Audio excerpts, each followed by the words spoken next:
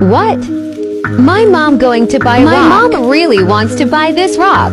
I use at it with a crystal flashlight. It's probably topaz.